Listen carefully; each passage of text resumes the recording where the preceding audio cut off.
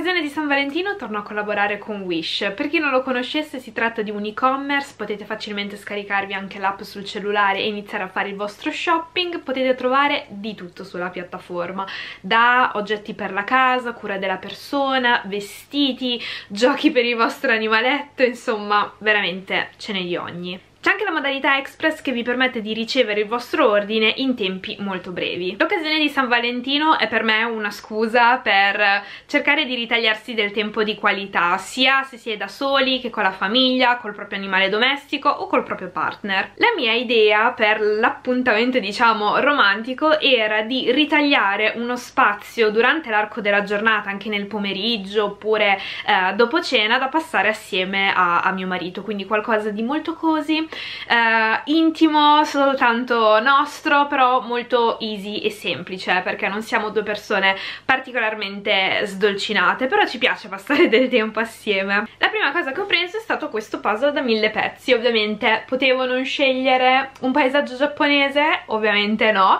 tra l'altro è molto bello questo con tutti i um, fiori di ciliegio, piuttosto difficile, non pensavo sarebbe stato così complicato farlo, però è stato molto divertente, devo devo dire tra l'altro mi ha riportato alla mente anche eh, i primi periodi in cui ci frequentavamo perché uno dei primi regali che mi ha fatto eh, è stato proprio un puzzle su, su Parigi e poi è stato anche il nostro primo viaggio assieme a Parigi, quindi magari ci porterà fortuna anche questo.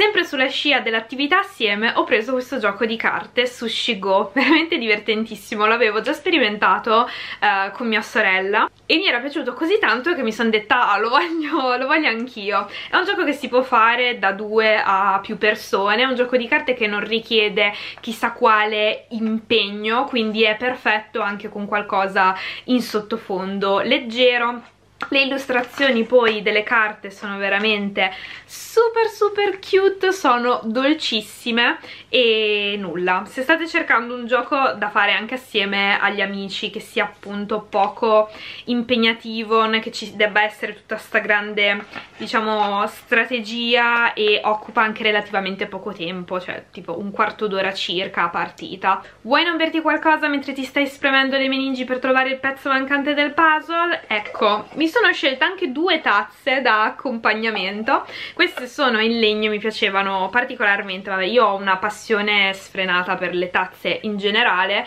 e non ne avevo di, di questo tipo qua quindi sono rimasta molto incuriosita e secondo me sono perfette per la tisanina post cena o appunto per bere qualcosa di caldo tipo a merenda. Io super fan delle merende. Nel caso poi della serata romantica non possono mancare delle candele, questi sono dei tipo cerini un po' più grandi eh, che vanno a batteria. Vuoi non farti anche un dolcino nel mentre a proposito di merenda? Ecco io ho preso anche uno stampo in silicone per fare tipo i budini o delle mini tortine. Poi in silicone è molto facile da lavare eh, va in forno, va in lavastoviglie insomma è veramente molto comodo. Con il codice CIBISTHEWAY20 avete il 20% di sconto sul vostro carrello e qua sotto in descrizione vi lascio il link con tutti i prodotti che ho selezionato io per questa campagna campagna.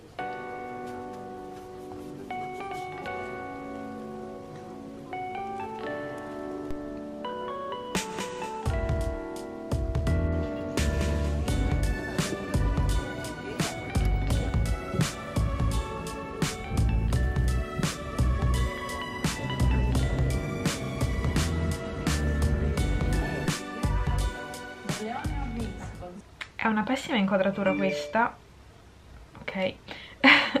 Ma non ho al momento il cavalletto. Comunque dico giusto due cose velocissime. Ieri sono stata sui Navigli assieme a mia sorella perché ogni ultima domenica del mese c'è questo grande mercato dell'antiquariato e quindi ne abbiamo approfittato per fare un giro perché era veramente una splendida giornata. Oggi invece ci vediamo per fare un po' di compere. Chissà. Allora, io ancora nei saldi L'unica cosa che ho trovato è stato il pigiama di Oisho che utilizzo spesso anche come tuta perché è veramente super comodo e um, è totalmente in pile. Però mi piacerebbe un po' svecchiare diciamo il mio stile.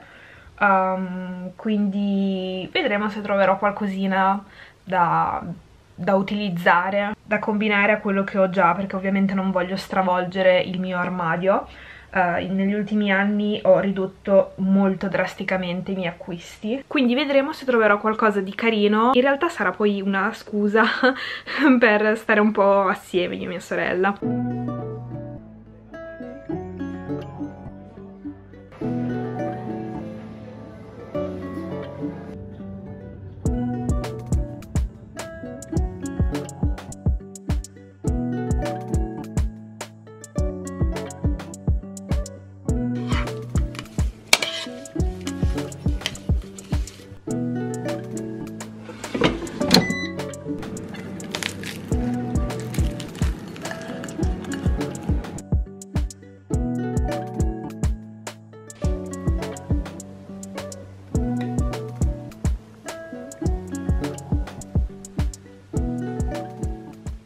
Credo proprio che vi stupirò perché ho iniziato un libro che era fuori da ogni TBR, un libro di cui magari non vi ho mai accennato o parlato, perché se da una parte mi incuriosiva parecchio, dall'altra mi spaventava tantissimo la sua mole.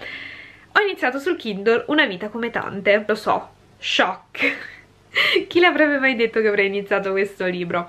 Come vi dicevo, a me incuriosiva da tantissimo tempo, però è un libro di oltre mille pagine, io sono una lettrice molto lenta e questo a me non disturba, eh? cioè non ho alcun problema a dire che ci ho messo due mesi a finire l'audiolibro di Dune o ai tempi ci misi quasi un anno a finire Il Signore degli Anelli, non ho alcun problema con questo, insomma, lo leggerò e finirò quando, quando sarà il momento, però allo stesso tempo è una cosa che mi spaventa perché so quando lo inizio, non so quando lo finisco e ho paura di perdermi per strada. Però vedremo come andrà. Per il momento ho letto soltanto 100 pagine, quindi non è successo niente.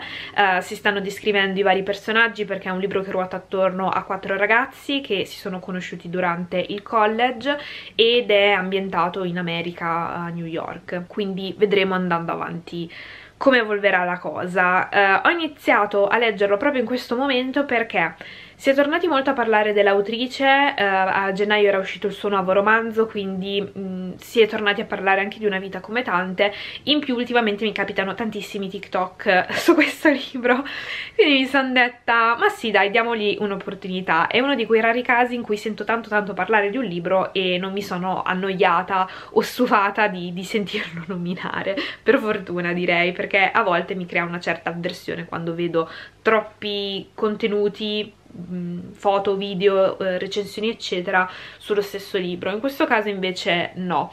E quindi sono curiosa. Ovviamente poi vi terrò aggiornati. Penso comunque che lo alternerò a qualcos'altro perché ad esempio per febbraio per il CV Club leggeremo il, La casa sul mare celeste e sono veramente molto curiosa anche se sto cercando di ridimensionare un po' le mie aspettative perché se da una parte ho sentito solo belle cose su questo libro in tanti mi avete anche scritto che sì sì è carino ma non aspettarti chissà che cosa quindi sto cercando di ridimensionare le aspettative ma in ogni caso sono curiosa perché l'esperienza di lettura con il Paese delle Nevi eh, mi è piaciuta tantissimo avete partecipato in tanti e quindi nulla, sono, sono, carica di condividere questa esperienza con voi. Io adesso credo che andrò a prepararmi, questo è il famoso pigiama di Oisho che ho recuperato, non mi ricordo se ve l'ho fatto vedere, comunque ehm, ha la parte sia sopra che sotto di pile di questo colore marrone freddo che a me fa impazzire, molto spesso lo uso come tuta per stare in casa, vi dirò, uh, perché è veramente caldo, comodo, adoro. Mi cambio, mi trucco e svolgerò un paio di cose per lavoro. Dovrei anche un po' sistemare Vorrei anche un po' sistemare soprattutto la scrivania. Mi vergogno un sacco, ma questa è la situazione, quindi sicuramente devo sistemare un po' di cose qua, eh, aggiornare il kakebo, eccetera. Devo capire come aprire il ramone, volevo farci un video, ma non riesco in alcun modo a spingere giù eh, la bibita, vabbè. Ah, a proposito, questo è il nuovo libro di Matt Haig, in realtà è uno dei suoi primi lavori, ma uscirà in Italia il 9 febbraio, mi è stato mandato da Edizione O, e sono molto curiosa perché a differenza di altri suoi libri dovrebbe essere essere molto più oscuro eh, perché è stato scritto proprio in un periodo nero tra virgolette dell'autore e quindi ha delle atmosfere molto diverse da quello che, eh, a cui siamo abituati ecco. Poi vabbè ho da fare delle piccole faccende di casa mm, come mm, ritirare i panni dallo stendino su cui mi sto appoggiando eh, cose, cose noiose. Tra l'altro ho in testa da ieri sera la canzone di Mahmood e Blanco, non so se seguite, se seguite Sanremo o meno, mm, sono completamente persa, cioè ho in testa solo quella canzone, sto ascoltando solo quella e di solito non ascolto musica quindi, però ci sono quei periodi in cui vado letteralmente in fissa con qualcosa e questo è uno di quei momenti.